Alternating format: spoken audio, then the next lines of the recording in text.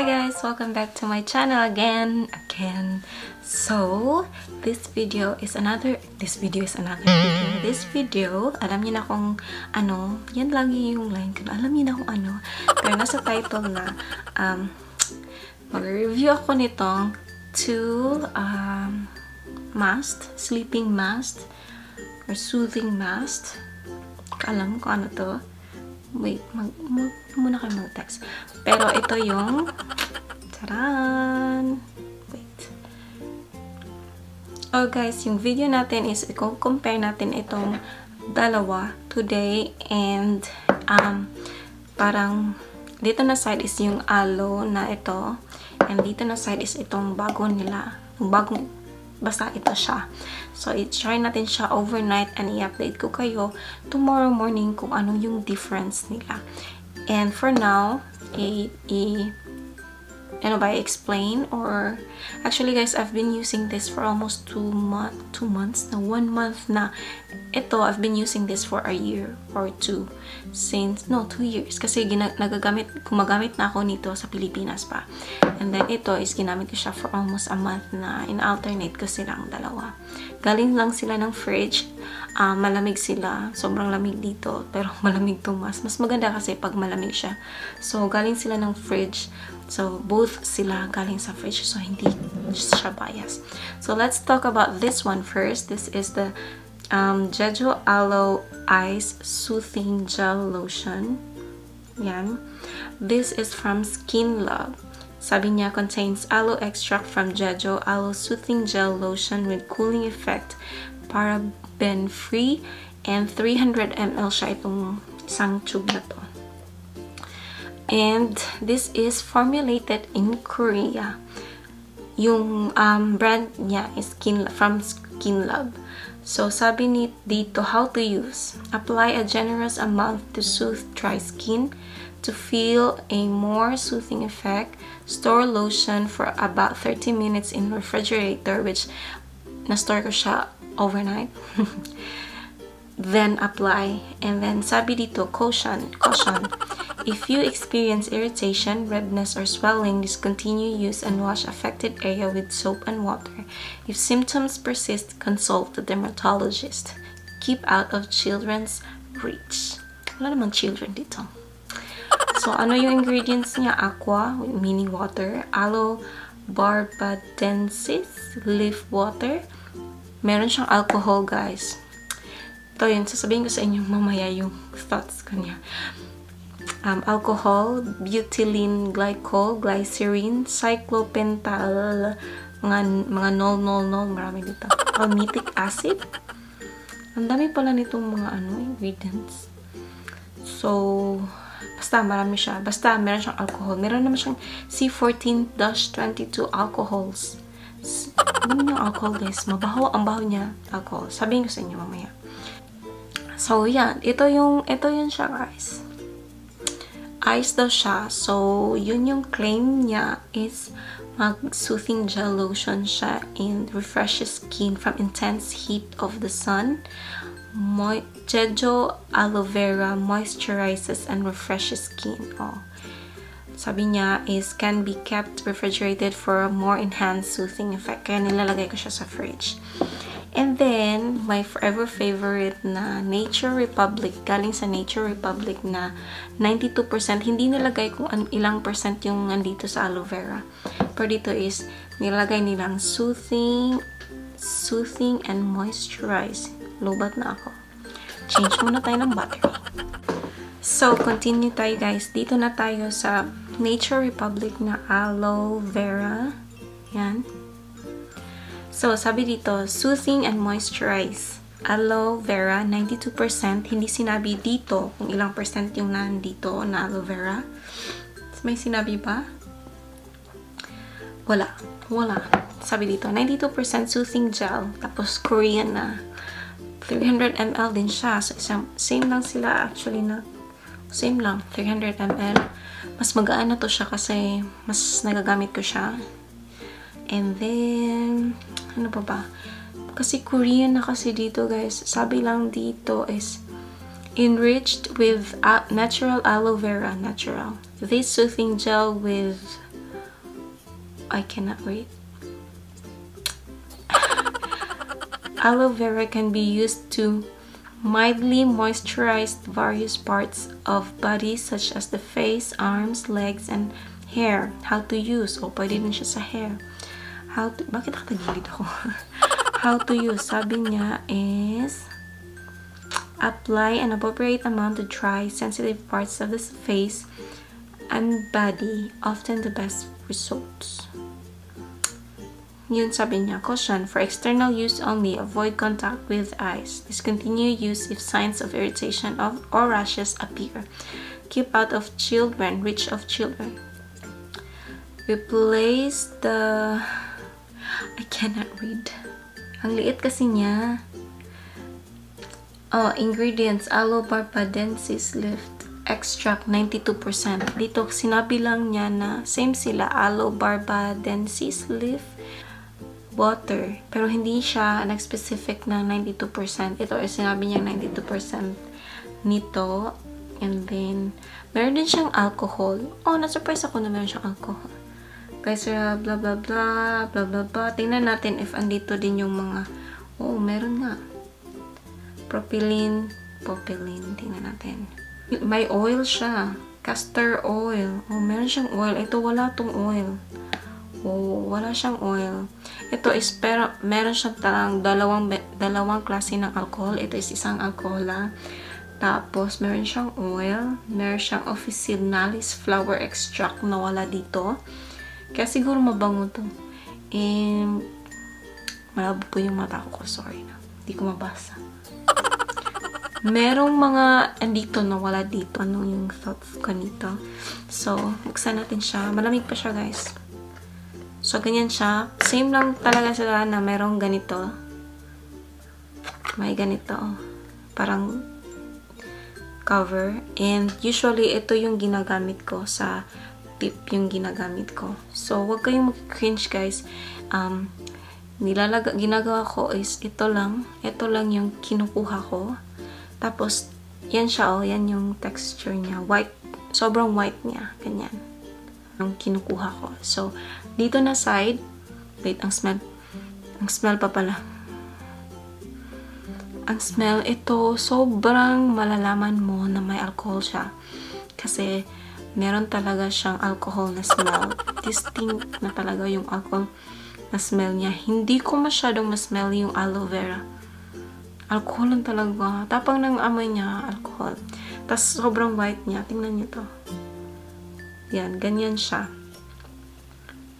So, ilalagay ko siya dito na side. So, si Jejo Ice to dito. Ilalagay ko siya. Tumitingin ako sa salamin guys. Hindi siya dapat ilagay sa ice mo kasi may alcohol nga siya. So, since naga, ginamit ko to for a month na, ito yung napapansin ko, meron talaga siyang stinging effect. Nagsisting talaga siya sa mukha mo.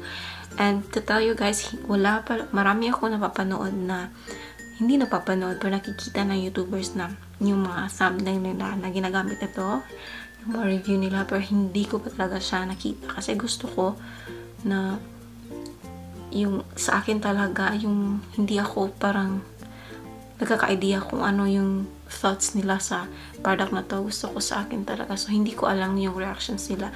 So, ito yung nafe-feel ko ngayon. May stinging effect siya. Kita nyo talaga yung white meron talaga siyang stinging effect guys dito. Yung, yung cover niya is nasa, nandito guys. So, tingnan nyo, clear siya, diba? O, tingnan nyo. Ko kasi ano siya. Clear siya, diba? Unlike from the other one is, tingnan nyo, white siya. White siya sa loob. Yan, white talaga siya sa loob. Ito, clear siya. Okay? Kita nyo siya dito. Clear siya. Diba? So, ito yung yung smell kain ko tuloy. Yung smell niya is aloe vera talaga.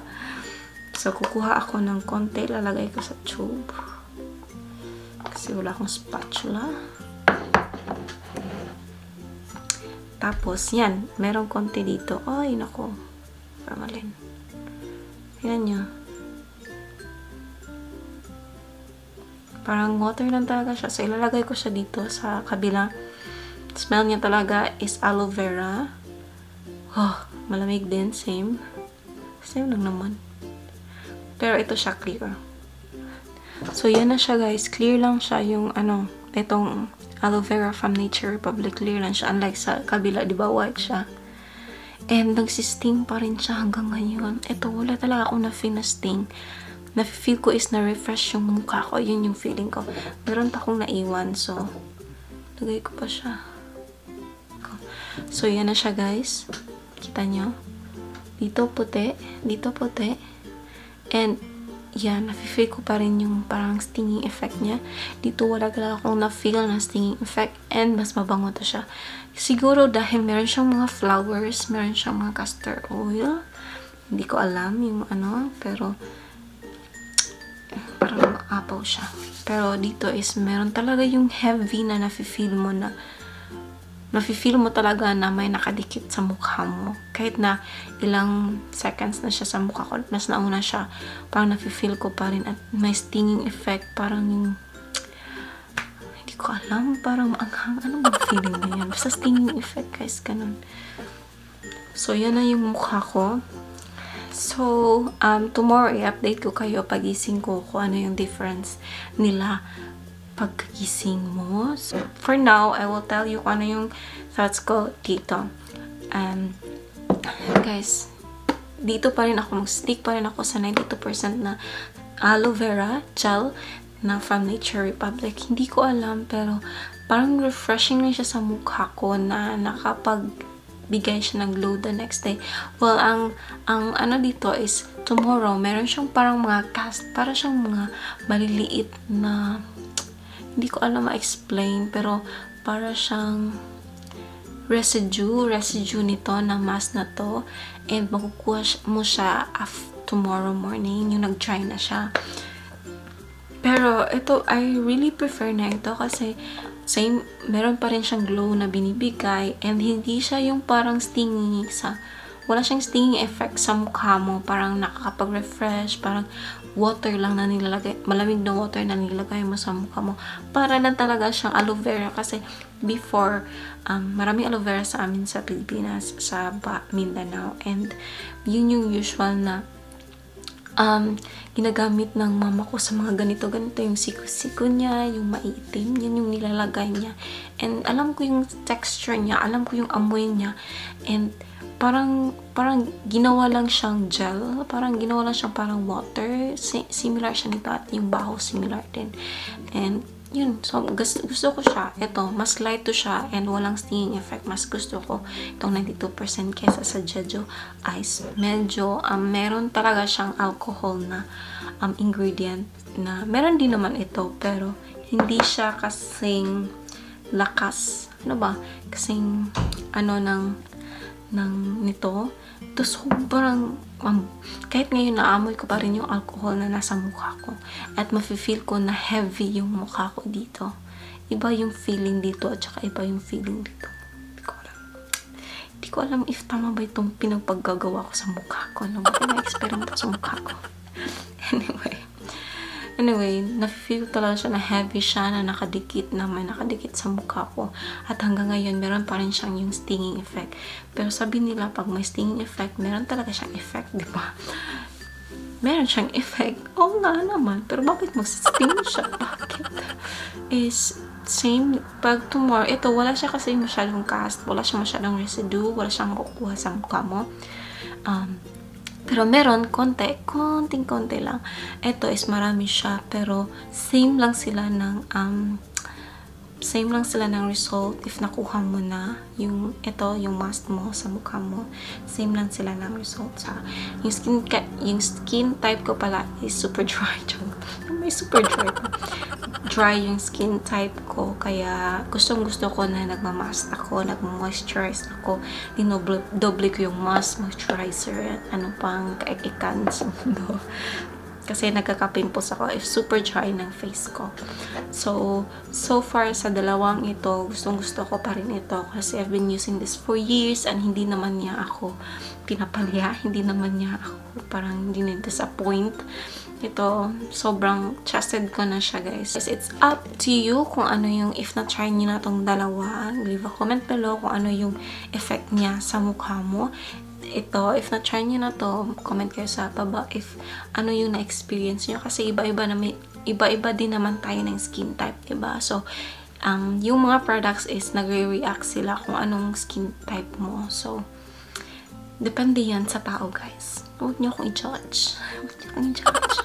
Anyway, if na-try nyo na rin to, if super love nyo to, comment in below. And if nagustuhan nyo tong video na to, if may natutunan kayo, sana, meron, meron ba? Mag-comment kayo below and i-like nyo tong video, i-share nyo if gusto nyo, if gusto nyo na naman. Hindi naman ako nagpo-push. Sige, i-share nyo na. And also, if wala hindi pa kayo nakasubscribe, please do subscribe. And that's it guys. Thank you so much for watching. I hope may natutunan kayo and I'll see you on my next one. And by the way, yung uh, paano ako mag-shave, nasa yung link below, nasa description box. I check nyo guys. That's it guys. And mag-subscribe guys. And that's it guys. Thank you so much for watching. I hope to see you in my next one. Don't forget you're blessed beyond measure and loved. Ano yung isa? Mm. loved. Bye. Mm. Good morning, guys. Okay, this is the day. Kakagising ko talaga. Well, nagising ako like an hour ago, pero parang tinan niyo yung buhok ko. Pero ano, um, bumangon ako ngayon lang, tapos papunta na ako ng toilet. Maghihilamos na sana ako. Sana, sabi ko, naalala ko na nag-review pala ako ng mask, yung sleeping mask, yung overnight ko nilalagay sa mukha. So, tingnan natin yung resulta, guys. So, ito yung sa side ng eyes. Hindi ko alam if makikita nyo, pero ito yung side na may um, aloe vera eyes. So, meron siya mga kagabi, wala siyang medyo naiwan na residue, yung mga malilit. Meron siya, pero konting-konti lang. Ito, wala na talaga siya, or, or kaya kinuha ko siya. Meron siyang Yeah, meron siyang konti lang. Like, sobrang konti lang talaga na naiwan sa mukha ko. And then, dito sa aloe vera mask, it's aloe vera na 20, 92%. Ito yun siya. Kagabi, while nag-dry siya, ang dami kong nakukuha na yung malalaki sa aloe vera na um, yung 92% dito na side. Din napansin ko is ito sa eyes, yung sa skin, from Skin Lab. Um, ano siya guys, um, yung sabi ko sa inyo, di ba, na may stinging effect siya. Parang, parang malalaman at ma mafe-feel mo talaga siya na may dumidikit sa mukha mo. And then, the aloe vera na 92% from Nature Republic is wala kang mafe-feel while ina-apply mo or, or while um, while parang ilang minutes pa siya sa mukha mo. So, ito, parang mafe-feel mo talaga na may, na may ano, may ginagawa yung yung mask sa mukha mo. But, magsa-stop siya nung nagda-dry na siya. Nag-stop yung stinging effect nung nag-dry na siya. And, dito, doon nag-start, parang nag-start siya pa, parang ilang ilang oras or ilang minutes na, na nasa mukha mo. Doon na siya parang kumakati ng konti. Kaya nilang ginaganyan ko siya minsan at kuha ko yung residue kasi parang kumakati siya kahit na sa ilang pero hindi lahat kaysa kumakati lang siya, tapos tinatanggal ko siya and okay din naman siya. Pero kayo na ang mag-judge. Kayo na ang mag-judge guys kung um, saan yung maganda. Ito yung sa, sa eyes, sa Skin Lab, and then ito yung sa ano, sa 92% ng Nature Republic. Sorry, may pimples talaga ako. yeah, so may pimples ako dito, pero fact, wala masyadong kaibahan. Yun lang yung amoy. Yung iba is nababanguhan. Sa akin, hindi siya mabango, guys. Mayroon talaga siyang alcohol na amoy, na distinct na alcohol na amoy. Yung aloe vera, na, yung Nature Republic, wala siya. Yung sa Skin Love is nagsisting siya while applying, while andyan siya for few minutes. And then, yung sa aloe vera is nangangati siya. Hindi siya stinging eh. Nangangati siya after how many minutes na nakalagay sa mukha mo. Eh, nag-sleep, ginawa ko siyang sleeping mask kagabi. So, ito yung morning talaga. Hindi ko pa to siya, hindi pa ako nag-wash ng face ko. Gusto ko lang ipakita sa inyo kung ano talaga yung mukha niya in the morning, pagising niyo.